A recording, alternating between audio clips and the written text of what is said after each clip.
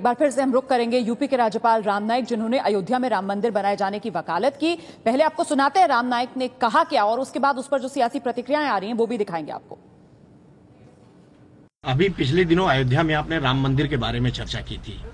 इस समय उसके जो मुख्य मुद्दई बाबरी मस्जिद के हैं उन्होंने मुकदमे से हटने की बात कही है। रामलला को मुक्त देखना चाहते हैं और मंदिर बनना बनाना चाहते हैं। इस पर आपका क्या कहना है? देखिए मैंने उस समय पर जो बात कही वही फिर से दोहराना है तो मैं दोहराता हूँ कि राम मंदिर जल्दी से जल्दी बने।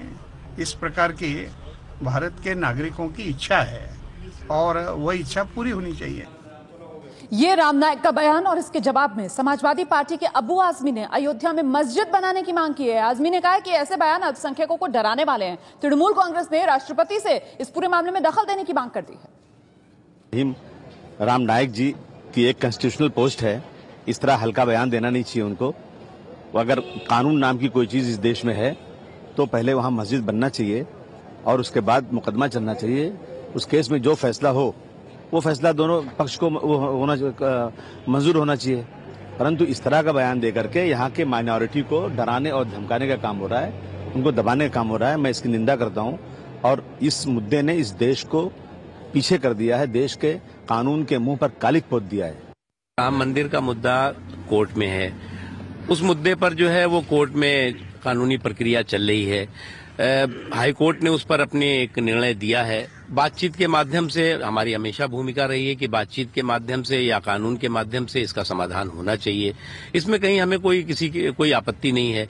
जहाँ तक उन्होंने जो बयान दिया है, उस पर मैंने देखा नहीं है कि उन्होंने क्या बयान दिया है। लेकिन हमारा भूमिका ये हमेशा ये रही है कि इस विवाद का समाधान बातचीत के माध्यम से, दोनों पक्षों के बीच में बैठ के बातचीत के माध्यम से, या जो है वो कोई निर्णय कोर्ट करता है उसके माध्यम से होना चाहिए।